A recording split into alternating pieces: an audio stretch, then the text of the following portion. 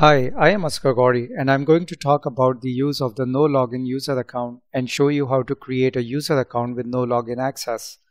If you want to know the files that are updated when a user account is created, files that store default values for new user accounts, and need help on setting up normal user accounts with default and custom attributes, please watch my YouTube video how to create a user account in Linux with default and custom values.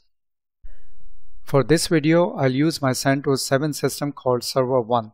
However, the concepts and procedures I'm going to present are applicable to other popular Linux distributions and their derivatives, with the exception of some minor differences in file names or their locations.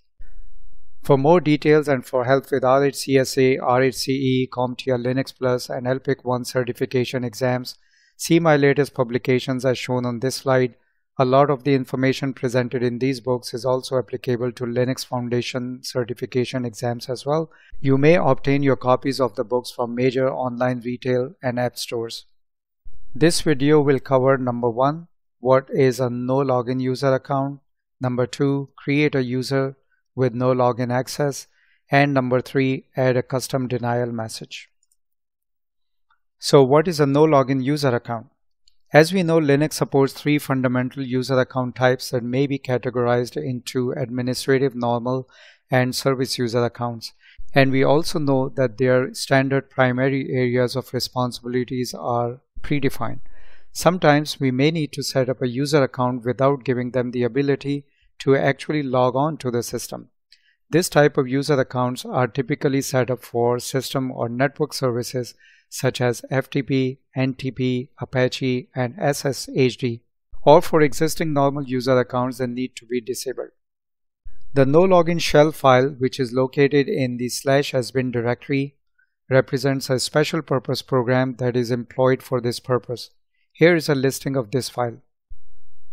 ls-l slash bin slash no login. With this shell assigned to a user, the user will be politely refused with the message, this account is currently not available, displayed on their screen. Let's take a look at the etc password file for user accounts with no login shell assigned. Grep no login slash etc slash passwd and pipe the output to more. And as you can see, there are a lot of them. Bin is a service account, daemon is a service account, and they all have no login shell assigned to them. ADM, line printing service, the mail, email service, operator games, FTP, NTP, GNOME desktop manager, Apache, dbus, postfix, Chrony, Pulse, and so on. Some administrators also use the false or the true command in the shell field of the password file as an alternative to using the no login shell. These commands are located in the bin directory and they instruct the login program to do nothing and return to the calling program. However, the use of the no login shell is the preferred method for preventing user logins. In order to create a user account with no login access, we simply use the hyphen s option with the user add command and specify the full path for the no login shell file. Assuming we want the rest of the values to be at their default, we run the user add command and enter a unique login name for the user. For instance, let's create a user account called user 6000 with a no login shell. User add hyphen s slash sbin slash no login and then name of the user account user 6000 the command was executed successfully and the user account was created.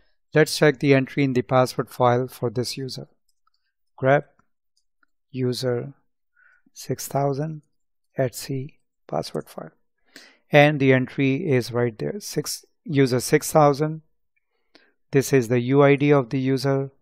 This is the home directory location, which is set to the default. But this is the login shell. This is the no login shell that is assigned to this user. There's no need to assign this user a password. However, even if we do, this user won't be able to log in. Let's try that and assign user 6000 a password. passwd user 6000 user 6000 user 6000 password has been assigned and let's switch into this user account and see what happens. Su dash user 6000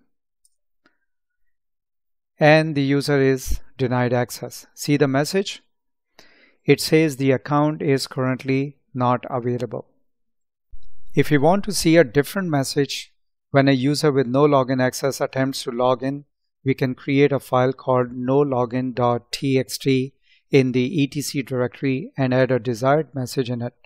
The content of the nologin.txt file are printed on the screen upon user access denial instead of the default message. Let's create this file. vi slash etc slash nologin.txt let's enter something you are not allowed to log in please see your supervisor. Save the file and exit out of the VI editor. If we try to log in as user 6000 now we'll see this new message on the screen. Su-user 6000 you're not allowed to log in. Please see your supervisor.